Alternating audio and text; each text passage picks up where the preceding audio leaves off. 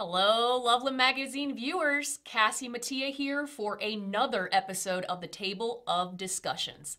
Now, during this episode, I got the opportunity to leave the table and go out into the Loveland Learning Garden, which is located behind Loveland Primary School.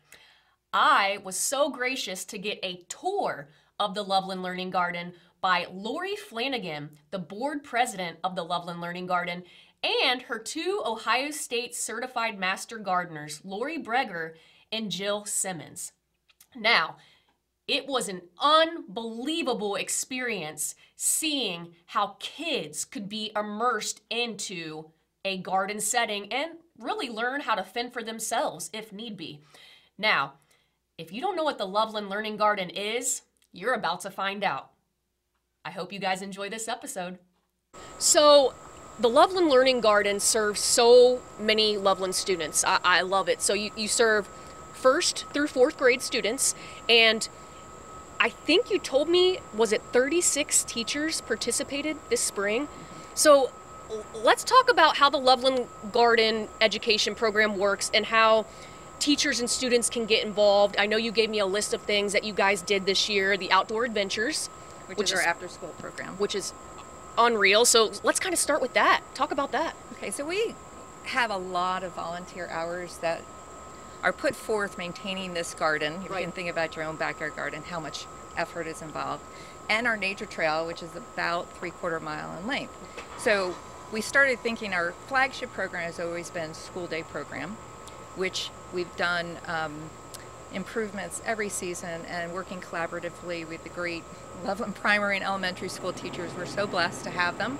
So we're here to help supplement what they're doing in the classroom and aligning our programming to their curriculum. Right, so right. that is flagship. But we started um, spring 22 with our outdoor adventures after school program, which is an enrichment program run through the LEPTA.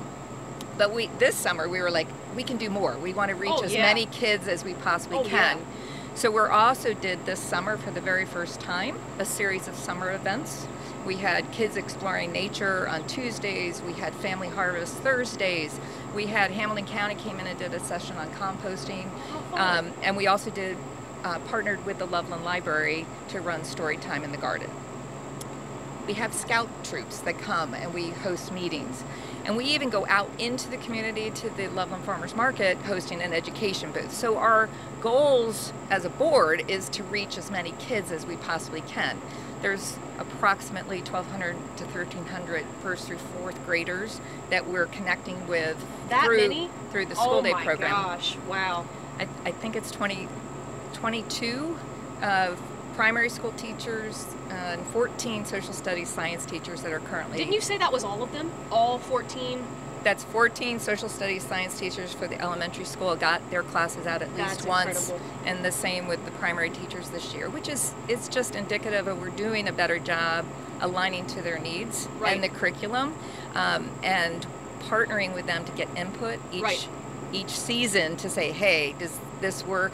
When can you bring your kids out? You know, what slots or time slots work? And then our great nature educators are have flexibility right. to then be present here in the garden. The kids trot out and we take over for approximately 40 minutes on a wide variety of topics.